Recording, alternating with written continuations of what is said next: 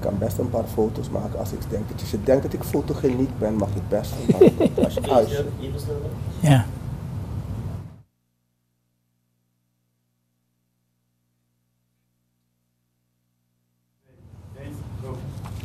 Dames en heren, goedenavond.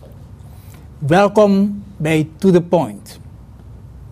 De schuldenproblematiek in de wereld is ons thema voor vanavond. Wat zijn de oorzaken en gevolgen van de lage olie- en goudprijzen? De stemming op de effectenbeurzen worden wereldwijd bijzonder gedrukt door macro-economische cijfers van landen en tegenvallende cijfers in beursgenoteerde bedrijven en industrieën. Vele effectenbeurzen vertonen thans een dalende trend.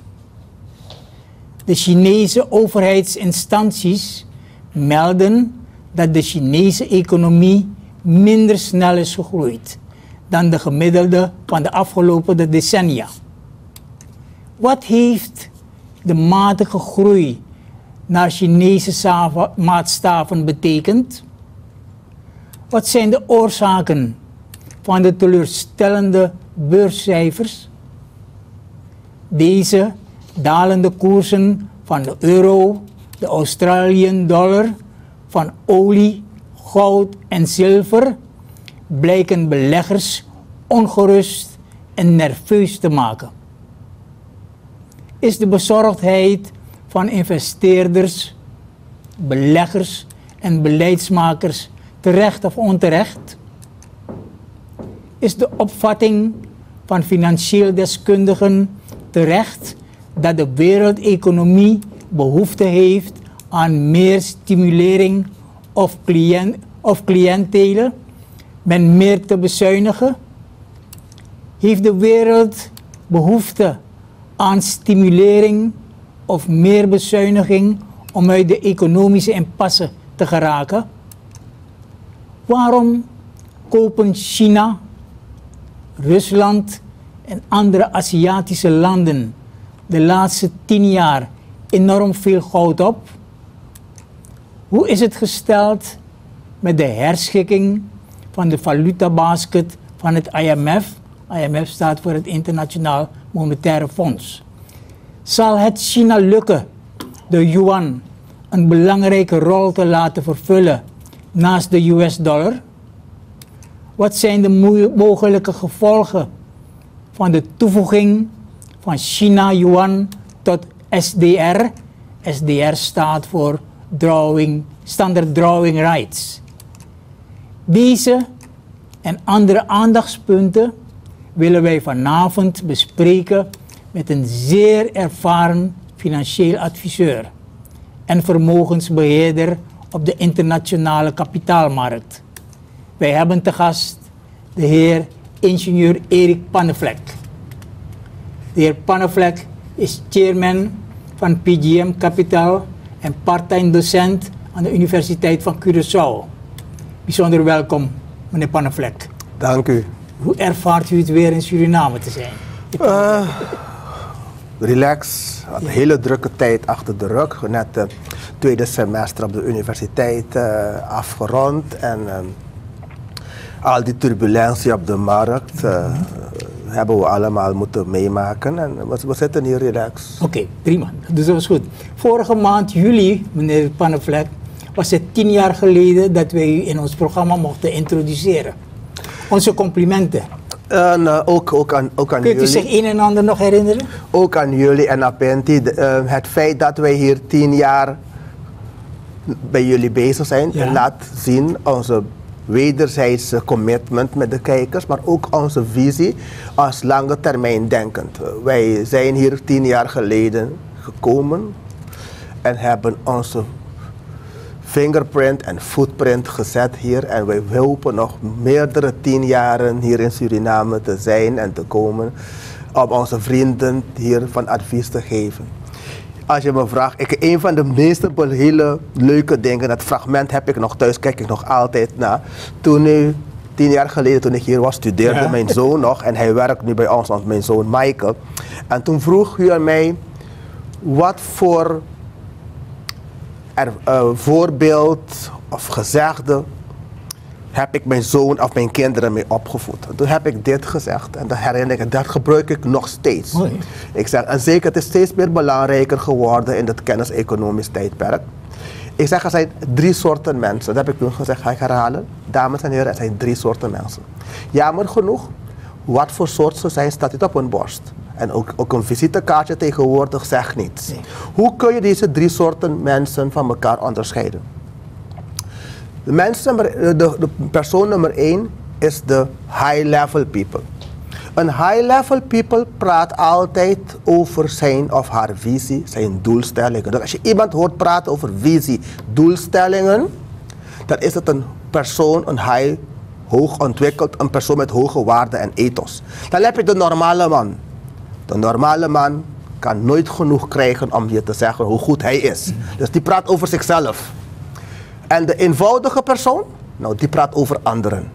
Dus dat betekent, als jij dat in gedachten houdt, kijker, dan, dan, dan zal u heel snel het kaf van het koren kunnen scheiden. Dat is prachtig. Goed, meneer Pannenvlek, wij hebben het genoegen dat wij u weer vanavond hebben. Het is goed dat wij toch, de kijkers, er zijn niet zoveel meer, maar er zijn mensen die op vakantie hier zijn en die, die meneer Pannenvlek misschien voor het eerst zien. Ja, wie is ingenieur Erik Pannenvlek? De heer Pannenvlek, geachte kijkers, is van huis uit financieel adviseur. Hij is oprichter en voorzitter van PGM Capital. En hij is parttime docent, zoals we eerder stelden, aan de Universiteit op Curaçao. Vanaf 2044 is hij tot heden is hij fulltime investeerder en vermogensbeheerder. De heer is van 2005 tot heden gastdocent op verschillende universiteiten in Europa, Zuid-Amerika en het Caribisch gebied. En ja, het is wij ons weer een genoegen. Meneer Pannenvlek, volgens monetaire deskundigen, economen en politiek analisten en internationale investeerders gaan wij spannende tijden tegemoet. Wat is er momenteel internationaal precies aan de hand op financieel-economisch gebied, meneer Pannenvlek? Er is op dit, op dit moment alleen maar één punt aan de hand. Ja, En dat is namelijk, the world has too much debt. Het probleem, eh, net als je dat weet, in, de, in business zeggen ze, cash is king, debt is devil. Ik heb altijd ook een van mijn kinderen die ik heb geleerd. debt is schulden dus, hè? ja. Ja. Een van de dingen die ik mijn kinderen heb geleerd, is om nooit schulden te hebben. Ik was, ik was al met, eh, met eh, 35 jaar, was ik compleet schuldenvrij. Het feit dat ik het heb kunnen maken waar ik ben, is ik omdat ik geen schulden heb. Ja. Ik ben persoonlijk, ook geen enkele van mijn bedrijven hebben schulden. Wij zijn Gelukkig. compleet schuldenvrij. Daardoor kunnen wij, ook zowel privé als zakelijk, door de tijden heen, want we hebben reserves. Ja. Dus dat betekent, wat, wat is er nu aan de hand? De, het, het o- zogenaamde oude rijke Westen zit tot in hun oren in de schuld. En het, eh, de Aziatische landen zijn overliquide. De media, jammer genoeg, wordt beheerd door het Westen. Dus wat, wat krijg je nu, wat ze noemen, is smokescreen.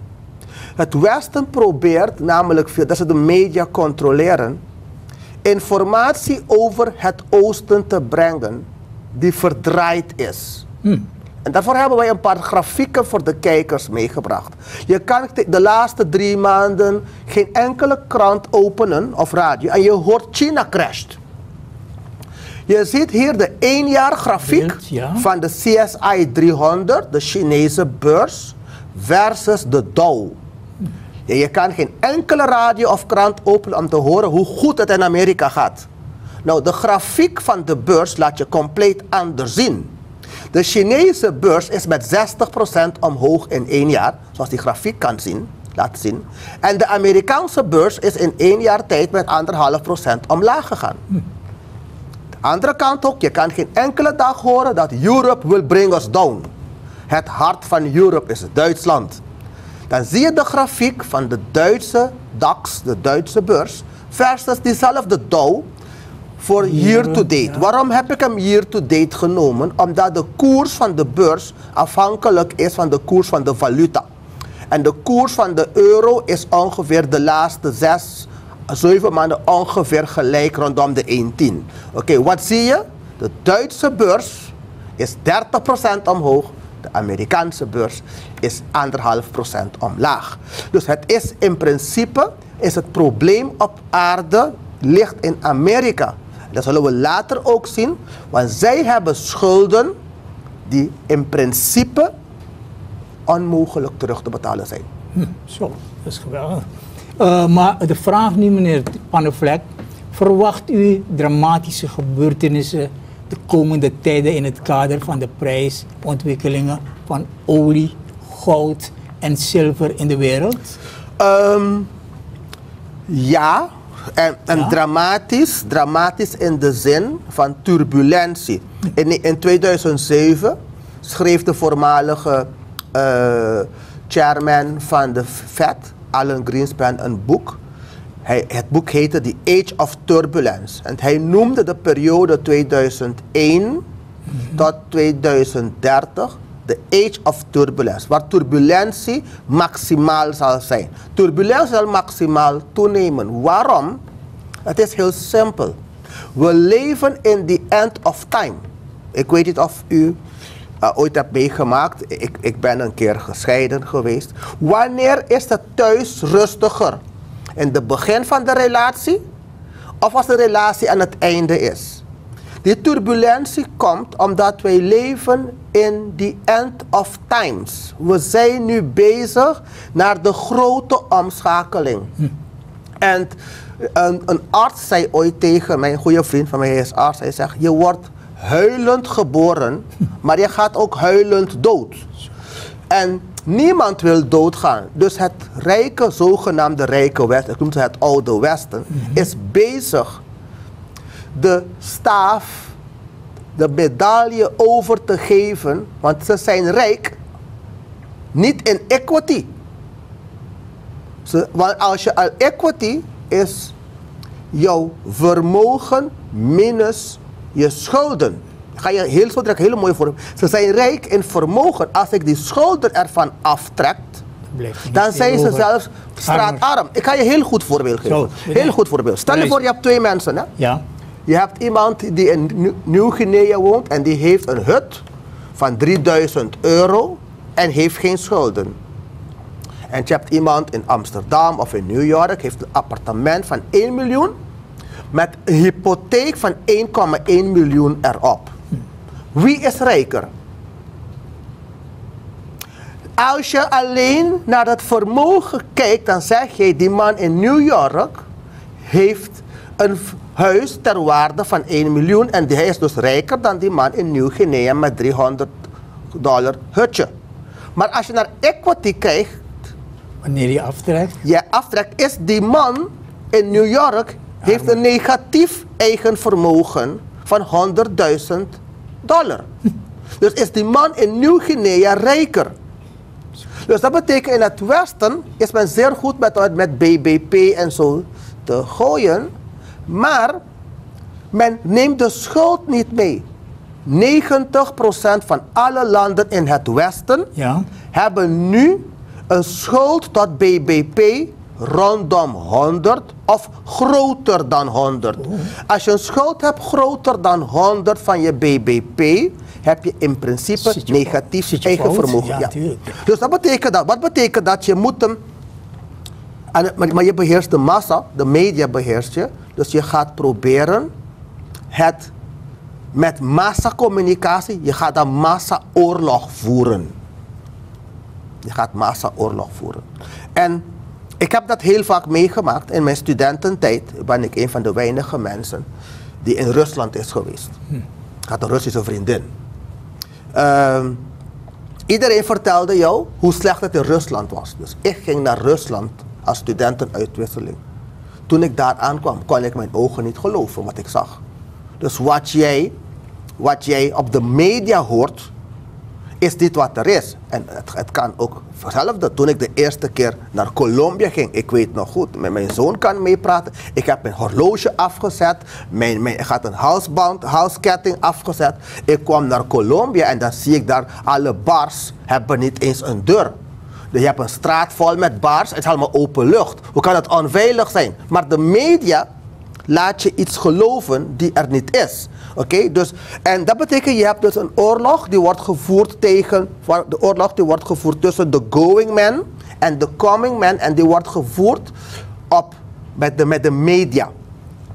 En daardoor zal dus via media zal de mensen die niet in staat zijn om research te doen, wat ik net liet zien, die gaan die media geloven. Dan, krijg je wat ze, dan kan je krijgen wat ze noemen in psychologie self-fulfilling prophecy. Een zichzelf vervullende professie. Dus dan gaat men handelen. Dus men verkoopt China. Omdat de media tegen jou zegt China crasht. Dan gaat China ook crashen. Maar hij crasht dit, want op jaarbasis is hij 60% hoger. En opeens komt dan zo'n kaart eruit. Iemand houdt een verhaal zoals ik houd onderbouwd. Dan gaat weer iedereen kopen. Dus je gaat turbulentie krijgen. Ja, dus om, en omdat dus olie olie, je kan geen economische ontwikkeling hebben zonder, Zonder olie, olie, zonder, nee. zonder energie. Dus als, men, als de grootste economie op aarde op dit moment China, als de media jou vertelt dat China aan het crashen is, dan zeg je dan heb je geen olie nodig. Dus Daardoor daalt de prijs van olie. Hetzelfde is voor goud. Goud is geld. Als de, als de mens bewust is van die gigantische schuld in de wereld, dan heeft niemand één cent op de spaarbank. Dus wat doen de banken en de centrale banken? Ze bevechten goud. En ze kunnen goud bevechten op de COMEX. Door, door papiergoud te verkopen. Om zodoende, bijvoorbeeld de vorige week was er een dag, werd er op één dag op papier drie keer de jaarproductie van goud verkocht om die prijs te laten dalen. Toen de hele problematiek was met Griekenland en zo, omdat men, dat het mensen zijn heil niet gaan zoeken in goud, wordt dan op de COMEX die, deze soort acties gedaan. De vraag is namelijk, hoe lang kan je dat blijven doen? Oh. You can fool pe- the people some, of the time. you You cannot fool all the people all of the time. En de zon, in het papiaments hebben ze altijd een spreekwoord die zegt, je kan de zon met je hand niet bedekken. Want je hand is kleiner dan de zon. Hij zal bewegen en uit je, de schaduw van je hand komen. Dus in principe is er niets aan de hand voor mensen die lange termijn denkers zijn. Maken ze een unieke mogelijkheid mee om alles die ze hard nodig hebben voor hun portfolio bij te kopen. It's not the time to sell, it's time to buy. Oké, ik heb een vraag nu in dit kader, meneer Van der Vlek. Waarom kopen China, Rusland en andere Aziatische landen de laatste tien jaar enorm veel goud op? Oké. En zilver? Heel belangrijk, dat is, heeft te maken met het vorige verhaal. Die landen met de schuld, het Westen, Ja? hebben de, dat schuld werd gefinancierd middels een obligatie. Als je een obligatie van een land of van een bedrijf hebt, heb je een deel van de schuld. Als ik, als ik bijvoorbeeld vertel dat de schuld van Japan Ja. is 244% van BBP. De on-balance sheet schuld van Amerika is 108% van BBP. Off-balance sheet 600%. Dat, dat laat de kaart ook zien die we dat hebben gedaan. Ja, de de 80 triljoen off-balance sheet schuld. Dat is geen plaatje van Erik Pannevlek of van PGM. Nee. Dat is de plaatje van de Amerikaanse Fed. Dus die, die informatie is er, maar als je niet weet waar je hem moet halen, geloof je je de media. ja. Het is officiële informatie van de Fed van St. Louis. Die vertelt je hoe groot de schuld is. Oké? Deze schuld is nooit terug te betalen. Never. Je kan het pay it back. Je kan, geen, je kan niet 600% van je inkomsten terugbetalen. Dus er zijn twee manieren om dat te doen, om, om van die schuld af te komen.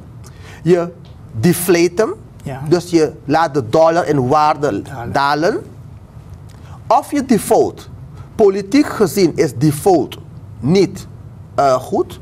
En hem in waarde laten dalen is politiek verkoopbaar. En dan kan je dus een zondebok aanwijzen. Bijvoorbeeld in Duitsland, de Tweede Wereldoorlog, hebben ze de Duitse Rijksmarkt laten deflaten. Toen hebben zij de Joden aangewezen als de, als, de, als de oorzaak. Nu zal men China aanwijzen als de oorzaak. Ja? Ja. Ja, dus, want, want dan kun je politiek de massa die geen cijfers kan lezen, niet weet waar hij of zij die cijfers moet halen, kan je manipuleren. Dus wat doet dus dan? En de kopers van die obligaties zijn de Oosterse landen. Oké, die Oosterse, dat is China, Japan en Zuid-Korea en zo die die obligaties hebben. Dus wat doen ze? Ze zien die bui hangen. Nu dat de dollar hoog is en goud is laag, daarom komt de goudprijs die laag is, komt ook deze landen ten goede uit. Ook de olie die laag is. Als jij weet hoeveel olie China heeft opgeslagen en, en, en goud aan het kopen is. En dat kan je zien aan het aandeel van het bedrijf Vopak. Vopak is een Hollands bedrijf. Ja. Dat is het oudste bedrijf op aarde. Vopak is opgericht in zes- 600 1616. Bestaat 400 jaar. Vopak is de grootste olie- en aardgasopslagbedrijf op aarde. Doordat men weet dat die prijs gemanipuleerd is, heb je twee kopers, twee opslagers van olie. Zo. De Aziatische landen kopen de olie op nu en slaan hem op. En de producenten van olie die goed in de slappe was zitten, de Emiraten, Rusland en het Midden-Oosten, verkopen de olie tegen die prijs. Dus die slaan hem ook op.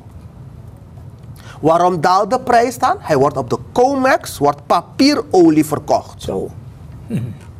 Ja? Wordt papierolie, de symbool is oil U. Dat, je kan dus oil U is West Texas Intermediate op de COMEX. Dus en het aandeel Vopak reflecteert dat. Als je ziet wat dat aandeel Vopak, die heb ik nu niet bij mij hier, is gestegen met 30%. Omdat als Vopak heeft pricing power om een hogere huur te vragen voor zijn opslagtanks. Oké. In dit kader stel ik ook de vraag aan u. U heeft het net gehad over de valuta van de landen. Hoe is het gesteld met de herschikking van de valutabasket van het IMF? Heel Zal precies. China, zal het China lukken, de yuan? Precies, dat is weer media, hoe de media wordt gemaakt. Een belangrijke En rol te je laten hebt daarover niks gehoord in de media, hè? Maar, Nee. maar, maar die, die vergadering van mij is geschied. Ja? China, IMF heeft toegegeven dat China erin komt. De IMF is in China gaan kijken. Zo. En er zijn er een paar dingen gebeurd. Een week of drie geleden maakte China haar goudreserve bekend. Weet je nog, toen we hier waren, toen heb ik gezegd, er moeten een paar dingen gebeuren. IMF maakt bekend dat China wordt beschouwd om binnen te treden. A. B heb ik gezegd, China maakt zijn goudreserve bekend. Is gebeurd drie weken geleden. China rapporteerde 47% toename 57% toename van hun goudreserve. De derde moet nog gebeuren, is dat China zijn yuan loslaat. Dus we zijn gewoon op schema. En wat kunnen de gevolgen zijn van de toevoeging van China tot de SDR? Ehm, als de, Chi- de Chinese yuan moet worden losgelaten. De Chinese yuan is ondergewaardeerd. Hij is nu gekoppeld aan de dollar. Ja. Op het moment dat je de Chinese yuan loslaat, zal je door het plafond schieten. En daardoor, wat zie je dus nu ook weer, als je de media hoort tegen jou zeggen, dat China crasht. Dat is een tabel van de tien grootste bedrijven op aarde.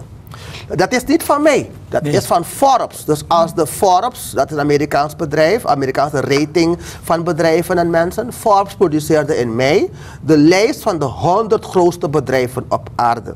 Ik heb de top 10 voor de kijkers gebracht. In de top 10 is 5 van de 10 zijn Chinezen. Maar vergeet dat. De top 4. De top 4 Wie zijn is die? absoluut Chinees. Het grootste bedrijf op aarde is ICBC. ICBC staat voor Industrial Commercial Bank of China. Tweede grootste bedrijf op aarde is CCB, is Construction China Construction Bank. Derde grootste bedrijf op aarde is Agriculture Bank of China. Vierde grootste bedrijf op aarde is Bank of China. Maar, maar nu komt het. Nu komt het. In, in de, op de beurs heb je iets wat noemen, wat noemen waardering.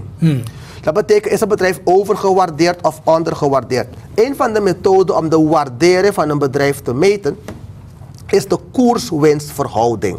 Hoe lager die koerswinstverhouding, hoe beter, hoe, minder gewaardeerd, dat het bedrijf is dus ondergewaardeerd, hoe hoger die koerswinstverhouding, hoe overgewaardeerd het bedrijf is. Die vier Chinese banken hebben een koerswinstverhouding van rondom de 6. Dat betekent ze zijn drie keer ondergewaardeerd. En dat is een koerswinstverhouding in de yuan. Kun je nagaan. Dat betekent dat die hele smokescreen via media heeft gewerkt. Je hebt de mensen bang schijnt niet gemaakt. zo happy te zijn met Ben- het werk van de media. Ben, uh, uiteraard. In het ik, Westen? Nee, ik kan kopen. Oh, Oké. Ja, ik ben zeer blij ermee. Oké. Ik kan kopen. Dus de koers, dus, de, dus de, de vier grootste bedrijven op aarde hebben een koerswinstverhouding van 6. Betalen een dividend van tussen de 6 en de 7 procent. Dus de media heeft ervoor gezorgd dat de beauty queens van morgen onder naar beneden toe zijn gesproken. Dat de mensen het niet weten. Zo- Zo'n tabel als ik hier op de televisie laat zien, is voor de kijker niet bekend. Nee. Dus die, die gelooft het verhaal. Die heeft ook niet gezien hoe de Chinese koersbeurs heeft gepresteerd de laatste.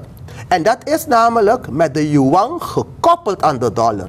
Op het moment dat ik de yuan loskoppel van de dollar en Wat zal er dan gebeuren? het gaat omhoog, dan zal dit ook gebeuren. Daarom zijn die vier Chinese banken, dat zijn de bedrijven waar je in moet investeren. Ik ga je uitleggen waarom. Op dit moment is de Chinese economie een exporteconomie. Economieën in het Westen zijn consumptie-economieën. De eh, economie van Amerika, als je de BBP van een land bepaalt, is het een formule. De BBP is een formule die als volgt uitziet.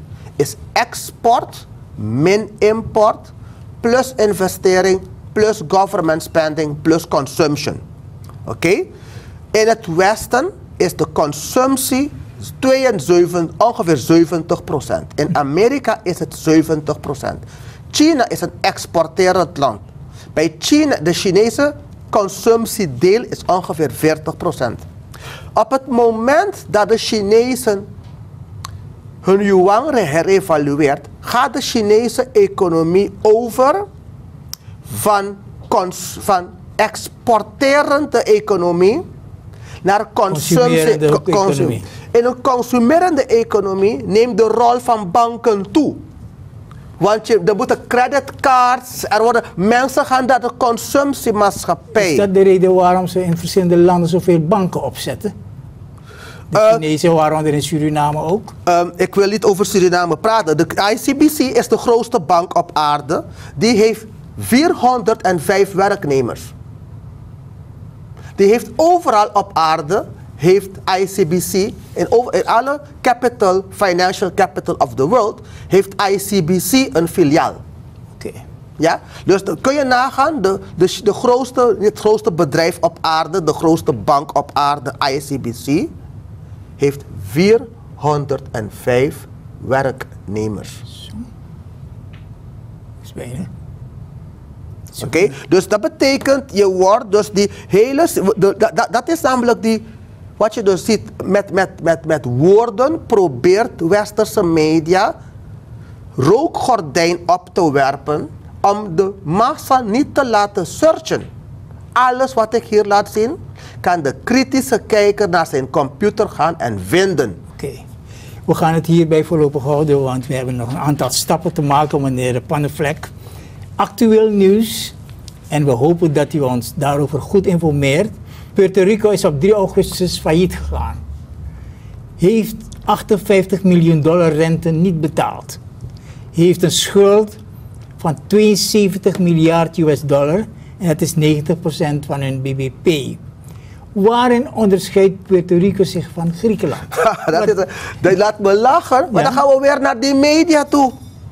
Dan gaan we op, op 9, Hier hebben wij op, de kaarten, 9 ja. op, op, op 9 februari 2014 Ja. heb ik een artikel in de Times of Suriname geschreven en voorspeld dat Puerto Rico failliet zou gaan. Klopt, kunnen we ons herinneren. Ja. En dat is op 3 augustus 2014, gebeurd. anderhalf jaar geleden. Want ik kan cijfers lezen. Toen heb ik ook verteld, terwijl de Amerikaanse media praat, is netjes gezegd over Griekenland, hun eigen Griekenland praten ze niet over. Want ik wil niet praten over Californië. Ik kan doorgaan over schulden in Amerika. Dus Puert- als je de gelijkenis ziet van Puerto Rico of, um, en Amerika. Puerto Rico is Amerikaans grondgebied. Ja, dus daarom heb ik ook een blogartikel geschreven. En is gisteren in Times verschenen. Ik noem Puerto Rico het Griekenland van Amerika. En nog veel erger, de situatie in Puerto Rico. Is dat de nickname geworden van Ik, Puerto dat is Rico? mijn nickname van Puerto Rico. Zo? De Griekenland van Amerika. Want als je, daarom is die smokescreen van belang, toch? Of je, terwijl je over anderen praat of roddelt, houd je de boot af van jou. Maar nogmaals, zoals we zeggen, het papiaments, je kan de zon met, je hand. hand bedekken. Het komt uit. Ja, het is te klein. Hij komt uit. En, en de echte waarheid rondom Puerto Rico Ja. is triest. En het leuke van dat alles is, Puerto Wat Rico, gebeurt er nu op Puerto Rico, meneer Pannenvlek? Puerto Rico kan niet failliet gaan. Want net als Griekenland die failliet kan gaan, juridisch failliet kunnen ze niet gaan. Oh. Want um, uh, Amerikaanse wetgeving tot faillissement kent, noemen ze chapter. Um, dat, een, dat een staat of gemeente failliet moet gaan, moet hij voor chapter 9. Um, Puerto Rico kan niet voor chapter 9 applyen. Dus wat heb je dus nu? De mensen die rente moeten krijgen, kijken, nou, waar is mijn geld? Puerto Rico komt niet uit die deadlock eruit, want als je faillissement aanvraagt, begint je opnieuw. Het vertrouwen daalt. Puerto Rico heeft een kredietrating van triple C min, gelijk aan die van Griekenland.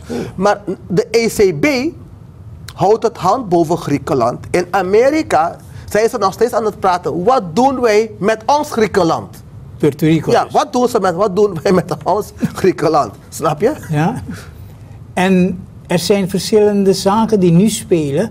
Het kader trekt weg. Hoge kader. Waarom? Logisch. En hoe zit het met het energiegebruik? in- Logisch toch, net als in Griekenland het geval was, als ze een Amerikaans paspoort hebben. Ze hebben Amerikaanse opleiding en hun land eh, is bezig in een death spiral, want dat is Puerto Rico in, gewoon een spiraal omlaag, zuigkracht omlaag enorm. Dan ga je weg. Dan gaat, dan gaat, wie gaat weg? De personen die in principe overal kunnen werken. Dat zijn de topkader. Daardoor maak je de situatie nog erger. Een leuk geval over die schuld van Puerto Rico. Ja. Ik, had, ik had bij mij op kantoor een, eh, op, eh, eh, dat, voordat ik de Curaçao dacht, 2 juli had ik een ex-minister op bezoek en we waren aan het praten, een hele goede vriend van mij. En we waren aan het praten en we, pra- we spraken onder over Puerto Rico. En toen heb ik, ik ben, ik ben research, ik geloof niet al, ben research gaan doen. Van die 9 miljard schuld van Puerto Rico is 5,3 miljard een obligatie Zo. van de Puerto Riceinse energiemaatschappij. Dus je hebt, dat is ongeveer 7% van die schuld, is naar die energiemaatschappij. Wat heeft de Puerto Rican voor die obligatie gekregen? De energieprijzen, de stroomprijzen in Puerto Rico zijn de hoogste op aarde. Zijn sky high. Dus hoe? Je hebt geen ruimte om de stroomprijs te verhogen. Hoe ga jij die obligatie terugbetalen? En dat zou die vraag zou ik Ja, hoe ga je, je kan niet. Dat betekent one way or the other. Moet Sinterklaas komen. Zo. En die bestaat niet. Dat heb ik ook mijn kinderen geleerd. Toen ze jong waren, ging ik bij hun bij Playa Canoa. En ik zei tegen mijn zoon, kijk, zie je die master hoe je zingt? Sinterklaas zijn boot is gezonken.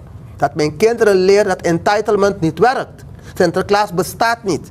Nee. Als Sinterklaas komt, dan is er iets anders, moet je betalen. Maar wat is nu de eh, ratingstandaard van Standard Poor's voor Puerto Rico op dit Dat moment? heb ik net gezegd, is triple C min. Zo. Triple C, net als Griekenland. Triple C min. Dat is, eh, dat is gewoon gelijk aan... En wat zeggen wil- Moody's en Fitch? Het, eh, Moody's, C, A, triple A min. C, C, C triple A, ja. Het ziet er niet goed uit. Dat, dat, zit er, eh, dat is ab- abominabel. En dat was ooit het, in de jaren 60 het rijkste land van het Caribisch gebied. In de jaren 60 was het rijkste land van het Caribisch gebied Puerto Rico, gevolgd door de Nederlandse Antillen en gevolgd door Suriname. Dat was toen de top drie van de rijkste landen. En kijk wat het rijkste land van het Caribisch gebied is nu belly up. Ja. Maar hoe- u zei net ook, Puerto Rico kan niet failliet gaan. Waarom zei je dat?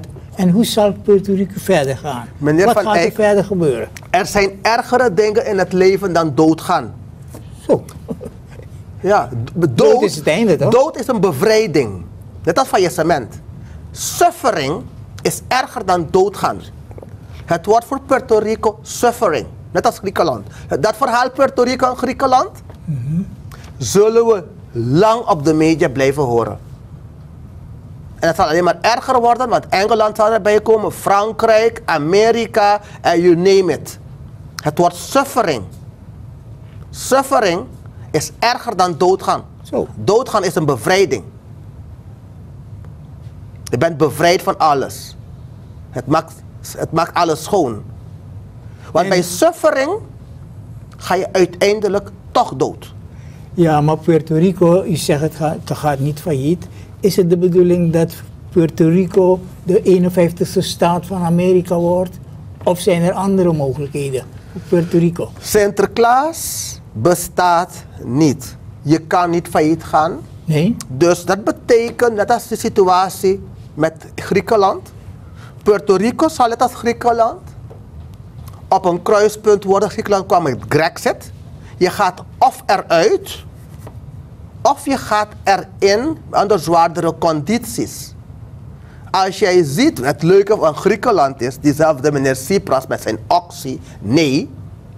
De maatregelen die hij aannam om in de eurozone te blijven, Ja. waren strakker dan wat hij op de referendum met zijn grote mond nee zei.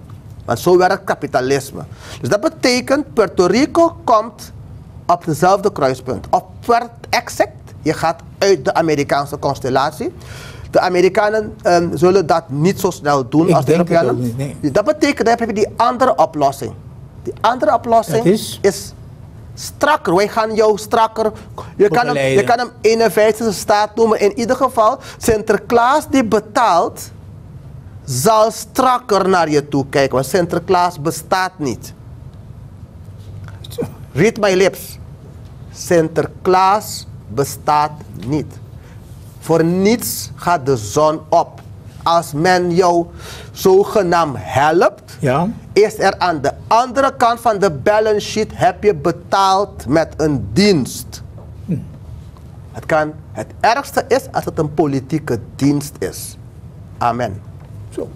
En nu een concrete vraag. Ik hoop dat u daarop ingaat. Verwacht u, meneer Pannenvlek, dramatische tijden of gebeurtenissen in het kader van die prijsontwikkelingen van olie, goud en zilver in de wereld? Dat, dat heb ik net gezegd. En wat kan men de komende tijden verwachten? turbulentie. O ja? Maar dat, je kan de zon weer met je hand niet bedekken. Turbulentie. Maar uiteindelijk zullen al die drie prijzen door het plafond gaan. Die turbulentie is om hem te drukken. Dat is, je probeert hem te drukken, maar je kan niet. Je probeert hem, want je, de- de- er, is, er is macht bij betrokken. Oh. Kijk, goud is geld. Als jij een centrale bankier bent of een minister van Financiën die hocus pocus kan doen. Hij kan een stuk waardeloos stuk papier. Hij noemt hem 100 dollar en je moet erin geloven. Als de mens in goud gaat geloven, breekt hij die macht van die centrale bankier of die minister van Financiën. Dus die minister van een centrale bankier gaat alles proberen om jou de schrik af te jagen van goud. Als, eh, als Rusland de grootste olie-exporteur op aarde is, en het is jou gelukt in de jaren 80 om de Sovjet-Unie te breken door de olieprijs te laten dalen, ga je het nu weer proberen. Snap je wat ik bedoel? Ja, ja, ja, ja. Dus er is dan, de turbulentie zal toenemen, maar je komt niet aan de fundamenteel aan. Er is niet genoeg olie. Dus wat je aan het doen bent, is je maakt de crisis straks erger. Erger? Ja, zeker. Maar, dat is de, maar als, die, als die man voor vier jaar zit, dan interesseert hem een bal. Meneer Pannenvlek, maar hoe kunnen investeerders zich de komende tijden voorbereiden op de komende ontwikkelingen? Die zo somber geschetst heeft net. Ehm, in de eerste plaats, ga uit al je obligaties. ga uit je spaarcenten. Want die obligatie, kijk, die eerste plaats je obligatie. Neem het voorbeeld van China en Rusland en de Arabieren. Ga uit je obligatie. Die obligatie heeft een mooie naam. Het is die schuld die niet betaalbaar is. Dat jij eigenaar van bent. Dan moet je gaan nadenken, die schuld is niet betaalbaar. Wat gebeurt er als die niet wordt betaald? A. Wat gebeurt er als die wordt diluted? Dus je moet nu dat je nog eruit kan gaan, moet je eruit gaan. En je moet je vermogen zetten in dingen die niet gecontroleerd kunnen worden door een centrale bankier of een politicus. Er is een hele goede interview van Jimmy Carter. Ga ik aan je toesturen. Vorige week had Jimmy Carter geïnterviewd. En Jimmy Carter zei tot slot van zijn interview. By the way, Jimmy Carter met Anne Clinton kunnen beschouwd worden als de beste president van de Amerika. Jimmy Carter heeft bold gezegd: We leven niet meer in een democratie. Wat er gaande is, wat centrale bankiers en, en, uh, en, en minister van Financiën nu doen om hun valuta te beschermen, is te vergelijken met wat in toen der tijd in het oud-Sovjet-Unie gebeurde. Ik weet niet of u dat nog vroeger nog kende, toen men het woord uh, de krant Pravda. Dat, Pravda, was toen krant, ja. Russische krant die toen zichzelf interviewde. Wat er nu gaande is, want dat betekent, er klopt daar niets van. Als jij elke dag hoort dat China is crashing and I show you the different, kan je dan zeggen dat die media eigenlijk bezig is feiten te verdraaien? Ik ben het niet eens met u hoor, omdat wij zelfs ook deel uitmaken van de media. Maar ja, ik, heb China... het, ik heb het over Apenti. Ja. Ik nee, nee, het niet over Apenti, maar nee, ik heb het over het algemeen.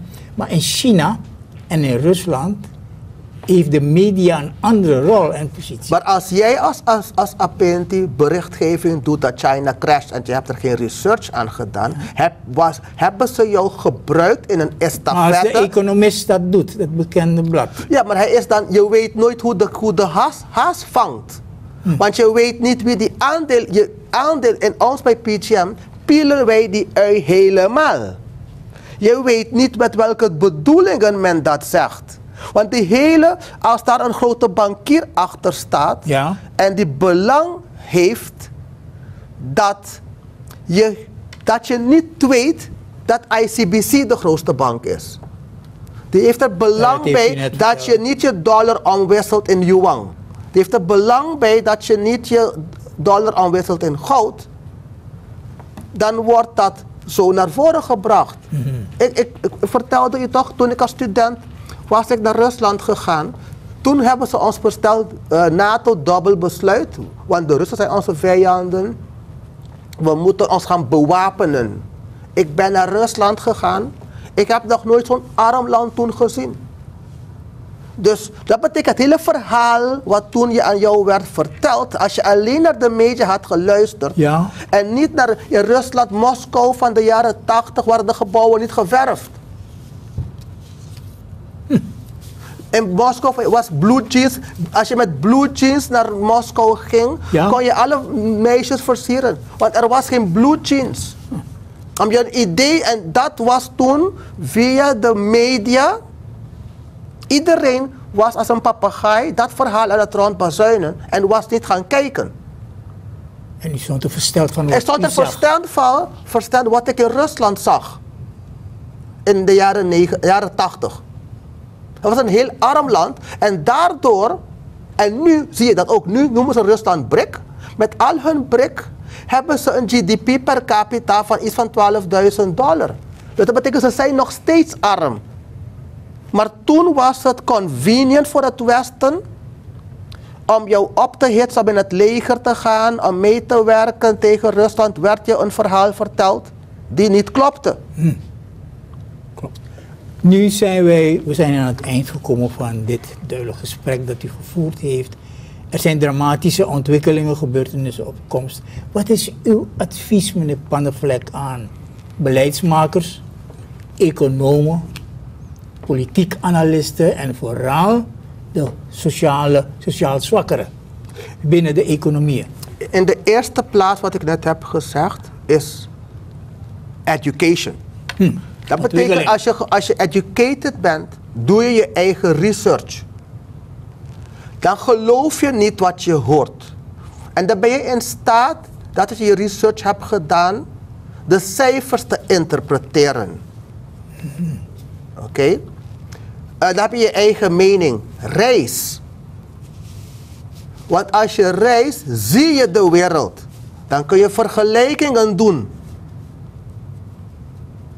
Dan kun je vergelijkingen doen. Dan, kun je, dan kan je dat voor jezelf beoordelen. Kent u mijn verhaal toen ik naar Colombia de eerste keer ging? Ik heb een speciale koffer gekocht die niet kan worden ingebroken. Want ik geloofde het verhaal. Dat op- Ja, ik geloof het verhaal van de media. Dan kom ik daar ik een straat met alle bars die open staan. Je kan zo lopen van bar naar bar. Ze hebben geen deur. Snap je wat ik bedoel? Dus reis. Ehm, dan bid. Want als we leven in the end of a cycle. En net als een kind huilend wordt geboren, die oude man sterft ook huilend. En er is niks ergers dan suffering. Men, die oude man wordt nooit meer een child. Dat suffering wordt verlengd. Sufferingperiode wordt verlengd. En dan krijg je een nieuwe wereld. Die nieuwe wereld zal voor een groot deel heel afhankelijk zijn van je educatie, van je vorming, van je normen van ethiek. Als je dat ook hebt gezien met al die dingen, kredietrating, welvaart, al deze dingen op de dag van vandaag hebben een correlatie met de, human, de ontwikkeling van humaan kapitaal. En, en op het persoonlijke vlak, hou de vinger aan de pols van jouw bestuurders. Niet alleen, ik praat niet over politieke bestuur, ook bestuurders thuis. Wees kritisch. Leidinggevende. Le- ja. weet, omdat wat ze doen, zeg niet ja baas, nee baas. Wees mondig, want als baas er morgen niet is, blijf jij met de problemen als baas slecht heeft gemanaged. Dus daarom zie je dus ook dat al die landen die in de top zijn, hebben zeer mondige bevolking. En we kan alleen maar mondig zijn als je het kan onderbouwen met facts, met educatie. Feiten. Kijk hoe mondig ik hier was om te, het verhaal dat China crash naar het fabelenland te sturen. Want dat is niet zo. Dat heb, die cijfers laten het zien. Maar omdat ik die cijfers heb, kan ik zo mondig zijn. Je kunt het aantonen en bewijzen. Ja. Goed, we sluiten, we zeggen aan u, meneer Panoflek, weer tot de volgende keer. En het was een genoegen dat u vanavond bij ons te gast was. Wij wensen u een aangenaam verblijf verder toe. En een goede reis weer naar huis. En zo het zover is, mogen we weer op de deur kloppen bij To The Point. U bent altijd welkom. Onze dank. Dank je. De kijkers ook. Het is eh, eh, was, ehm, ehm, tien jaar. Tien jaar is niets niks. Nee. Als je na tien jaar nog steeds vier keer per jaar te gast kan zijn bij je vrienden van. Welkom. Dat we eh, openhartig met elkaar kunnen praten, betekent dat wij samen een synergie vormen. En meneer Van Eyck, staf, personeel, directie van Apenti. Bij deze wil ik jullie bedanken voor de dienst die jullie mij hebben verleend. Dat we samen met u, de kijkers van Suriname, objectief van financieel-economische informatie kunnen voorzien. Zullen Dank blijven doen. Dank u wel. Geachte kijkers, voor wij afsluiten, nog een korte slotopmerking. Wij brengen drie krantenkoppen in beeld. Het zijn de eerste reacties op het financieel-economisch platform van de overheid, van de regering. De eerste krantenkop die wij in beeld brengen is van de heer Haris Monorat in Dagblad Suriname van vandaag, 5 augustus. En de kop is, hoe gaat de consument dit alles betalen? Wij gaan er niet diep op in. Leest u deze kop, dit, dit, dit bericht en vormt u uw eigen mening daarover. Tweede bericht van vandaag is ook in Dagblad Suriname. En dat is op pagina 2, pagina 4. zegt de heer Shambinda, het zijn geen donkere, maar zwarte wolken boven Suriname. Shambinda, geachte kijkers, is voorzitter van ACMOS. Hij noemt de adviezen van het Financieel-Economisch Platform in één woord desastreus. We weten niet of het zo is. Leest u dat artikel zelf en dan vormt u uw eigen mening daarover. Derde artikel in Dagblad Suriname, ook verschenen vandaag, 5 augustus, van de heer, uh, hoe heet die meneer is? Kisum Rajan Kisum. En hij schrijft, voertuigenbelasting nadelig voor samenleving. Dit verslag moet u lezen en vormt u ook uw eigen mening hierover. Wij danken u, geachte kijkers, voor uw aandacht. Wij wensen u een genoeglijke kijkavond verder en zeggen graag tot de volgende To The Point uitzending op maandag aanstaande. Graag tot dan. Fijne avond.